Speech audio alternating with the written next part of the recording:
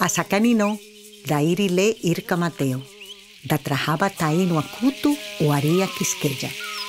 Greetings, my name is Irka Mateo. I'm a Taino grandmother from Quisqueya. Quisqueya is the Taino name of Dominican Republic, and the Tainos are the original inhabitants of the Greater Antilles, some Lesser Antilles, and the Bahamas. I'm here on behalf of El Museo del Barrio, and today we'll be talking and singing about our spirit ancestor, the Cemi Yucahu, which we can find in the museo's collection and is part of the Taino spirituality. I'm a singer songwriter, artist, ceremonialist, and spiritual medicine woman. I was a member of the first Taino movement which worked to dispel the myth of our extinction in the mid 1980s.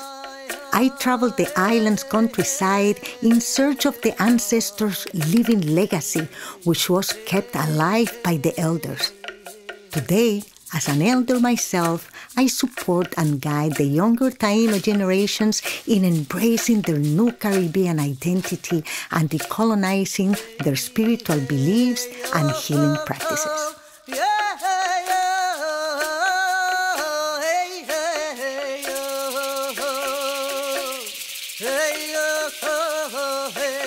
We see the majestic ceiba tree, which the Taino people regard as sacred we still believe our ancestors reside inside the tree's trunk.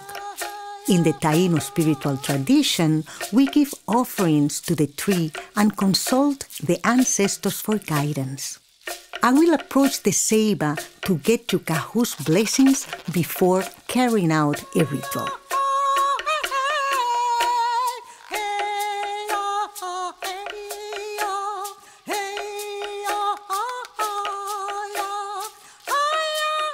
This is the Cemi Yucahu located at El Museo del Barrio. Cemi comes from the Arawakan word cemi, which means sweetness. The Cemi Yucahu Bagua Maorocoti is the spirit of the yuca and the sea, with no male ancestor.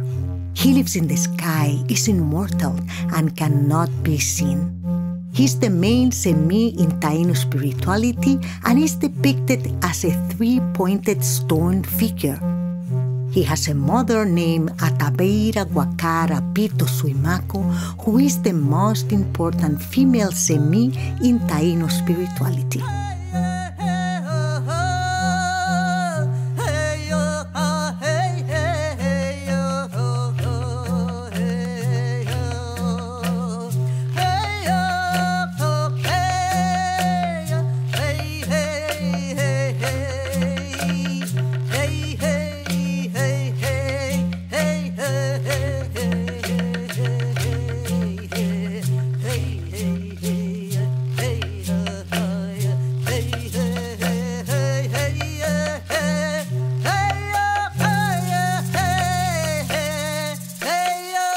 The power of our spirit ancestors resides in the sweetness of their guidance and protection.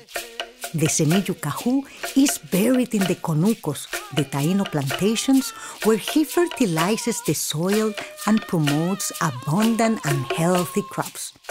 This ritual has been passed down from generation to generation and is still practiced in Quisqueya.